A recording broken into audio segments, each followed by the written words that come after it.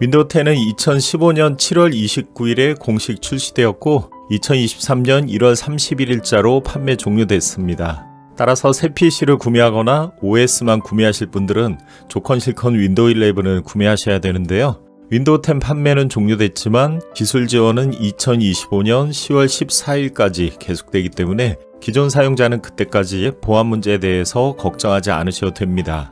만약 신규 구매자가 윈도우 10을 사용하고 싶을 경우 일반적으로 두 가지 방법이 있는데요. 윈도우 10 제품 키와 구매 내역서를 중고로 구매하시거나 윈도우 10이 설치된 중고 PC를 구매하시는 겁니다.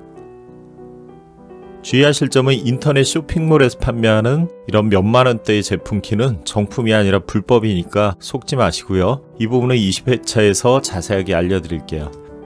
윈도우 11은 2021년 10월 5일에 공식 출시되었습니다. 우리나라 사람들이 발음하기는 윈도우 11이 낫겠죠. 그래서 앞으로는 윈도우 11이라고 부를게요.